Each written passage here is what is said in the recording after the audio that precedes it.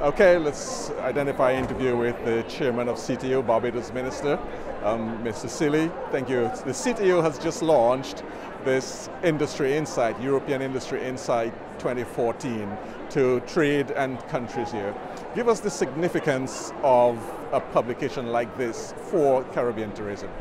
Well, I mean, it's important that we have insights that policymakers and planners can stay current, can understand basically what's trending, uh, especially in these times when everything is happening so fast.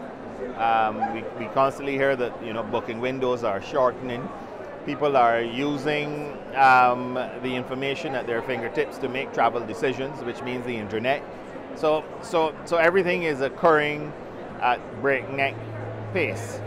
And, um, and, and, therefore we, we, we, need to have the information in order to, to make to make decisions that make sense. Uh, there are some interesting findings in there in terms of the food, the, the beach, uh, the preferred areas, what they liked about the Caribbean, but it does suggest too that while there are areas that we should be happy, but the Caribbean can't really just sit on its laurels and say everything is all right. Absolutely. I mean, gone are the days when the beach alone would have done it. Uh, people, people want to to experience different things when they go on vacation. So they, they, we have to push the various niches, sports tourism, heritage tourism, the whole experience, the culinary end of things, the culture, sharing it, offering it.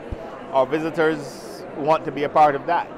So when we market our tourism services to the world, we are telling people come and share in our culture, come and experience what we are and who we are, and not simply come and um, you know have a leisure experience where you're simply lying down on a beach or around the beach for you know a few days or a few weeks. So we we really have to become far more sophisticated in terms of how we handle this whole creature of that we call tourism.